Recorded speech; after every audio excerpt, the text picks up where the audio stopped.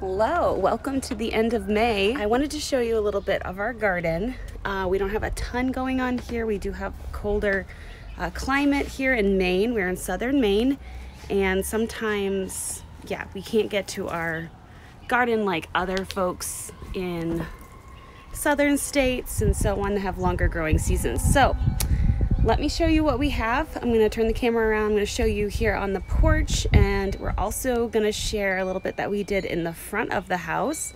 So that will be good. Thank you so much to Victoria from Home Educating the Mad Lads for doing this every single month during the planting season, a gardening collab. We have people from other countries. We have people, they just enjoy doing gardening. Now we're not amazing at it.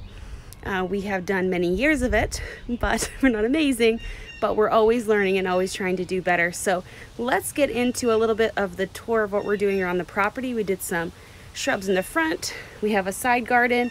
We've got little wildflower gardens that we've started. And also we've got our back garden that's still in a little disarray, but I'll show you what we got going on and then I'll show you some of the starting things we have on the deck. Here on the deck, we have some mint, some rosemary, lavender, and look, we got a little blue, some mint, peppermint, and I think that one is spearmint.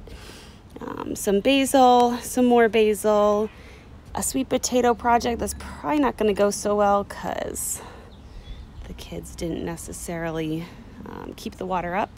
Here we have some oh, morning glories, but they're not doing so hot. It looks like they got a little too suntanned, unfortunately. I've got some tomatoes in here, but we'll see if they come up. Not quite sure. I think this is alyssum.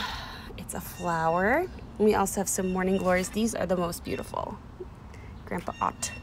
They're just so pretty. We have some, don't worry, these come natural, but I had a bulb. This was in here, but it didn't come back. But we had this bulb and it's still growing, and then that's just a cup of old dandelions.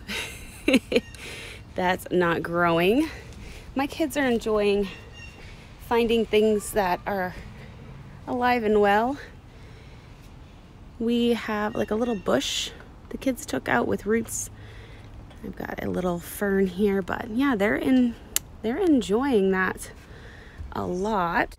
Included in the garden is the grass. My hus my husband has taught my son how to do the grass and he does a great job. So he'll see what we have back here.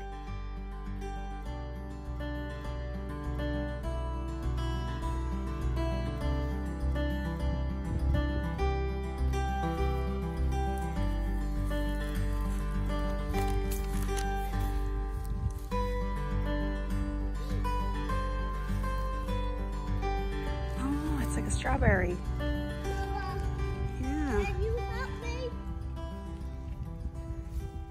Herb here, the chive plant, it's looking great. It is going to seed, getting those flowers. Now, these have toppled over. We need to secure them better, unfortunately. but back here, we've got a whole bunch of cukes, whole bunch of cucumbers. They're doing okay. They're still pretty tiny, but they're getting new leaves, so that is a good sign. Peppers, still very tiny. This one's kind of big. The back of this is pretty overtaken with another one of those hostas. The tree trying to regrow from that stump. and in here we've got some bulbs, but my daughter spread, oh, and we got some creeping John. That is a weed. has pretty flowers on it though, see? Pretty flowers. Creeping John, pretty flowers but it is a weed. All of these are little wildflowers, these little sprouts that you see here. So that is going to be great. We're gonna have hopefully a cut and come again or just a, a cut garden and try to sell some plants. That's what my daughter wanted to do. Let me show you the side. We planted some more there, but that's her little hideaway garden back here in the shady area. All right, Here's the side of the house where we planted the rhubarb. So that's doing really good. Probably should harvest some of these stalks.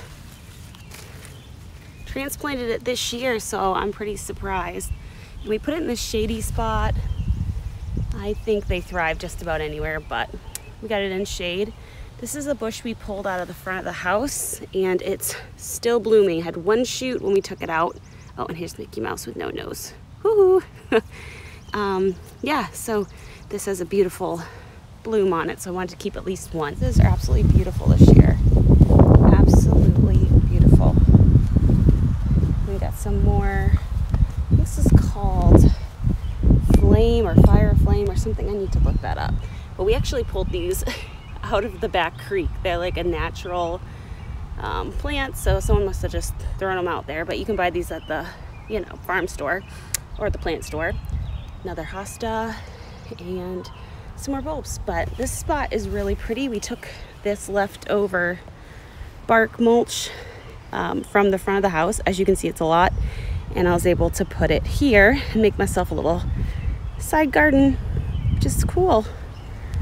Oh, we don't want to forget Mr. Frog. There he is. Side of the house here, we have plants that are sprouting up. We're not really good at watering over here, which I wish was different, but it goes all the way the length of the house up to the bike, apparently. But so we got some um, sunflowers planted here. We'll see what happens, and some full sun wildflowers, which just gets partial, but I thought it might work. You can see some of the sprouts down there starting to come. Ooh, look at this one. This must be a sunflower. I'm not sure. We'll see what that comes up with on the side of this this part of the house. That will be super nice. Hopefully that will work out. Make something beautiful. Our front tree. Some bulbs. We got the creeping John in there, but we bought some flowers. I like these. Uh, more Queen of Hearts, petunias. Oh, so pretty. Got another one of those plants that we pulled out of the creek. Oh, they chopped up my bulb or my plant here. Okay.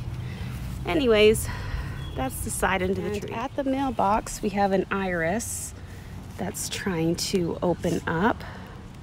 So that will be really beautiful. Some more bulbs, just the regular Stella de Oros with the yellow um, bellflowers. I have a dahlia. I really like these. Um, it's this royal color. Oh, she's so cute. Oh, and there's another one. I fell in love with these back when I helped my friend in her flower business. She went on vacation once. So anyways, that's pretty. I put it on this side so I can see it from the house. but yeah.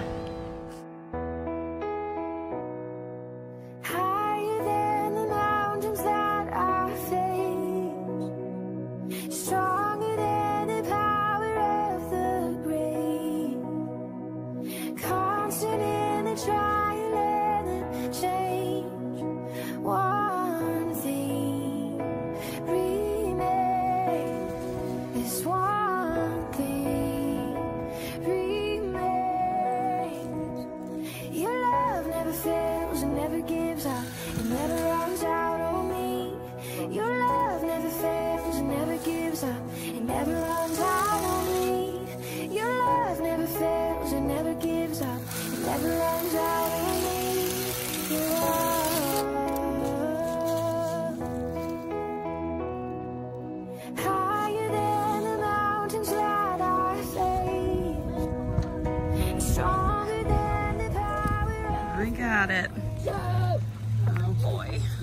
either be very good or very, very bad.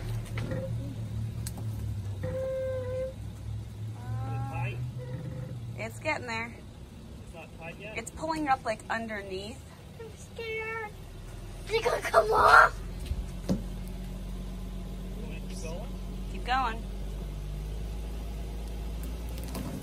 It looks like the chain is slicing. Yeah, but it's soft. All right, well. I guess keep giving it a yank.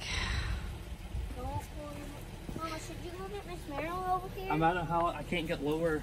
So you think I should go higher on it? I'm thinking higher so you get like the firm part of the root ball, but maybe not.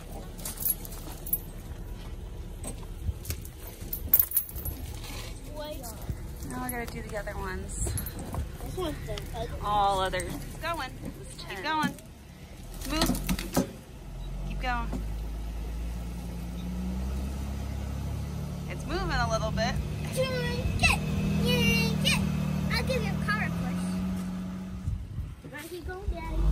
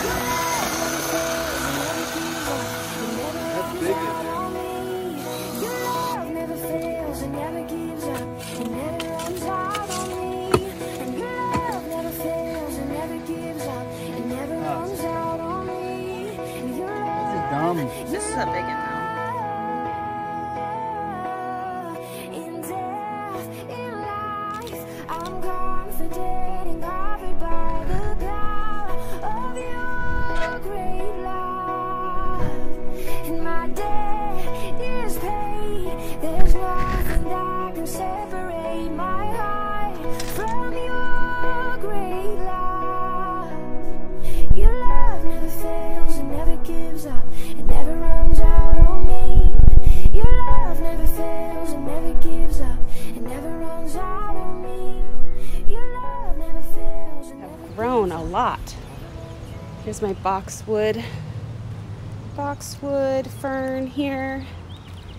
Ugh, it's such a hot day. It's definitely shot up. Definitely nice. King's gold. And this is blooming. I have all of the instructions and things inside. I can't remember exactly what this is called. If you know, let me know. But this one's ready to bloom. It's so, so pretty, exquisite. We got our little bush tree. Bush tree. This one just finished blooming. Another king's gold and another like boxwood. So it looks nice. It's definitely grown up a lot this past month. It's been great. It has been a good month. We want to get more done on the garden. We got some seedlings that need to go in. We've got some flowers that need to go in.